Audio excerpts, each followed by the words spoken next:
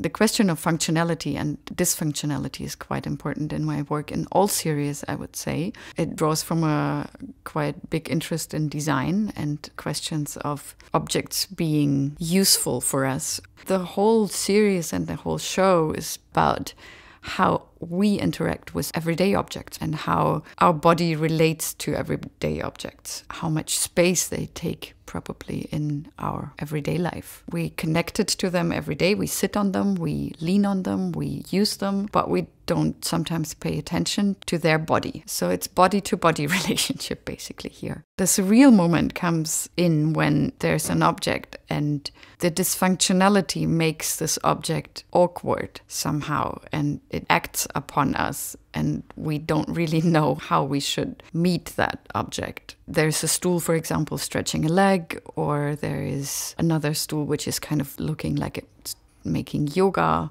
because it's lying on its back and stretching the legs out in the air. This impossibility of almost like a slapstickish moment of objects performing something towards us or amongst themselves. It's, of course, a relationship of the objects in that space as well.